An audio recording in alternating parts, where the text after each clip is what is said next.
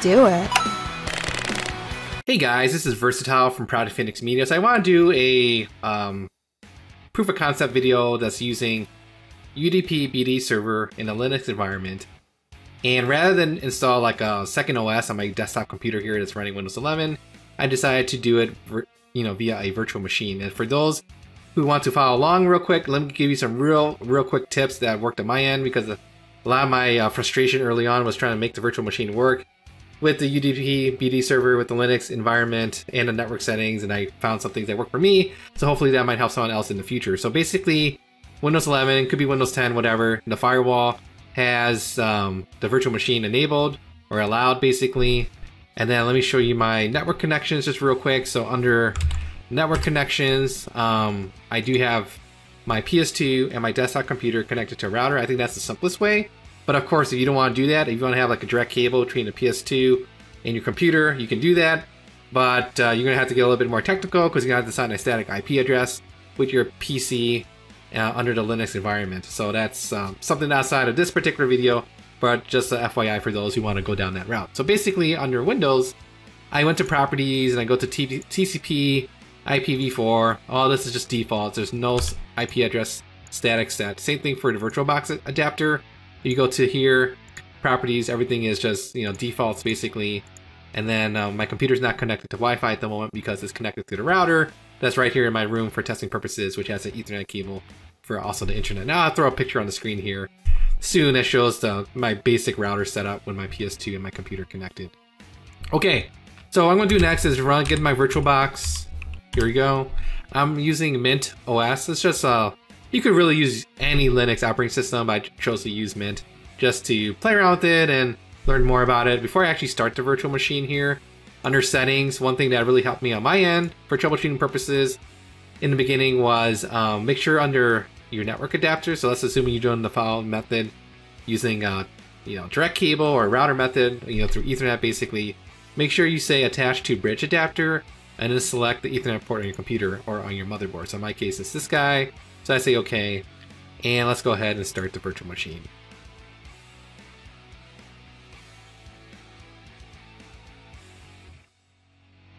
So another tip I will have to say is inside the virtual machine, I ended up disabling the firewall for the program. Otherwise, I couldn't get the UDP BD server to recognize the PS2 IP address, basically. But if you're more tech savvy and if you want to enable the firewall in your Linux environment and allow the program through, by all means, go ahead and do it. I took the easy button out and I just uh, basically disabled the firewall of my Linux operating system inside the virtual machine. But I don't really care too much for this example purposes because I'm not really using the Linux for connecting to the internet and and plus, you know, it's, it's sort of sandbox inside the virtual machine. So if anything bad were to happen, quote, you know, air quotes, um, I'm not too concerned about it. So anyways, what I'm going to do is we're inside the virtual machine and let me go to, um, this is how it works. So let's say that you went to the website, the GitHub, you downloaded the zip file, and I'll have a link in the video description where you can get the file. So let's say that you already got the file, and I'll do this in real time here. So here's the zip file. So I took the easy way out. It's basically right click and say extract here within the Mint OS operating system. So I made a folder here. Inside the folder, you say uh, right click, go open in terminal. And I'm a big newbie. I'm not. I'm not a Linux guru by all means. I'm just trying to do the bare bones basics, right, just to get this going. So hopefully this video will help someone out in the future if you want to follow along. But you go open in terminal and what you want to do is just say make and the make will basically make this new file for you, which is this executable, the, the UDP BD-server. So next thing you want to do is plug in your USB thumb drive that has your PS2 games and everything set up correctly. And this is, you know, we have a lot of videos on the channel that talks about how to do this. But in my case, I have a DVD folder. Under the DVD folder, I have one example game today, which is going to be the Marvel vs. Capcom 2. Okay, so when you're inside the Linux environment, the next one of the things you want to do is figure out what is the the drive letter assignment, so to speak, for your particular USB drive. So uh, there's a command you can type. Uh, you can type. Excuse me. I'm gonna take a shortcut here and go through my history. Is it is lsblk. So when you type that in and press enter, we see that my 8 gigabyte um, USB drive is under this SDB um, naming, I'll just call it for lack of a better description for a moment. So this is the command line you want to type in. So you want to type in, um, here you go. So you're going to type in, me just extract this out a little bit. make it a little bit wider to make it easier to see. So this is command prompt. So based upon some tips I learned from the Discord server, thanks guys. Uh, this is what you want to do. So you do sudo space dot forward slash udp bd dash server space forward slash dev forward slash sdb. Uh, not SDB one or two or whatever, just just SDB, right? And you press enter. Now you type in your password for your account. So let me go ahead and do that. And then we get this, right? So this is a good sign, so to speak. And let's go ahead and turn my game capture for the PS2. And I think I'm good with that size for now. So this also assumes you have OPL on your PS2 that is UDP BD server compatible. So here it is. Let's go ahead and run it. And if everything is working great, if your network settings are set up great, no conflicts, um, then what's going to happen momentarily is in the in the terminal, it will automatically start reading these commands or data or whatever you want to describe it. I'm not sure myself, but basically you'll see some outputs here in the terminal. So this is a good sign. And we see that my game, the Marvel vs. Capcom 2, is already recognized in OPL. That's awesome. So let's go ahead and start the game. Now we turn on. Um, the game music will show up a little bit here momentarily. But I will say that the gameplay is awesome. I'm not experiencing any lag. At least with the limited games I've tried so far with the UDP BD server method. Now, technically, could you do this in Windows?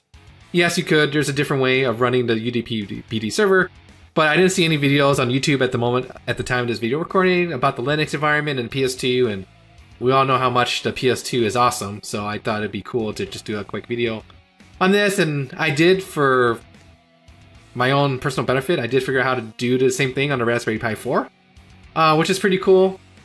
Um, if anybody knows how to use a router and that allows you to load a UDP BD server on a router, for example, by all means let me know. I think that'd be awesome video. But I don't know how to do it. But I know it is possible.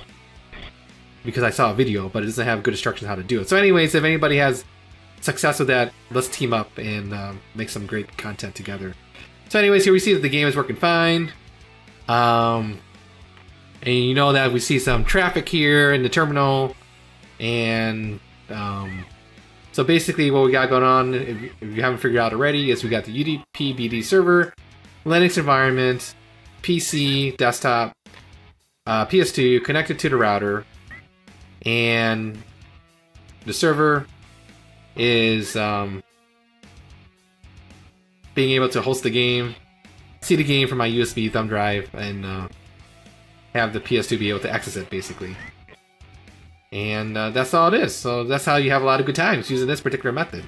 So I know uh, if I, you know, if that seemed a little bit too fast for you guys, I do apologize. It wasn't really made to be like a full-blown slow down tutorial per se, but at least you get the gist of it. And if you guys want to see like different other Linux operating systems, just to get a feel of how things work, or uh, you know, Raspberry Pi video in the future, I could definitely take a look into that as well. So that's today's video. You guys have any nitpicky questions, leave a comment here on the YouTube page. I'll get back to you as soon as possible. Once again, thank you for watching. Take care. Bye.